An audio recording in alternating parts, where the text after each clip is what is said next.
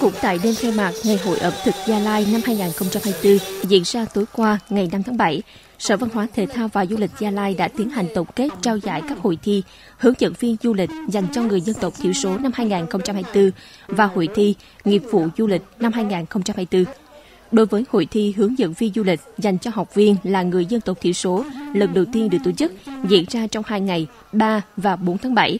Trong số 17 thí sinh tham gia dự thi, ban tổ chức đã trao một giải nhất, hai giải nhì và ba giải ba cho các thí sinh có sự thể hiện xuất sắc ở hai phần thi thực hành và xử lý tình huống. Trong đó, giải nhất thuộc về thí sinh Mờ Lê đến từ làng Vô, xã Chi Á, thành phố Pleiku. Còn với hội thi nghiệp vụ du lịch năm 2024 được tổ chức hôm qua ngày 5 tháng 7 với 4 nội dung thi thuộc 4 nghiệp vụ gồm lễ tân, buồn, nhà hàng và quản lý khách sạn.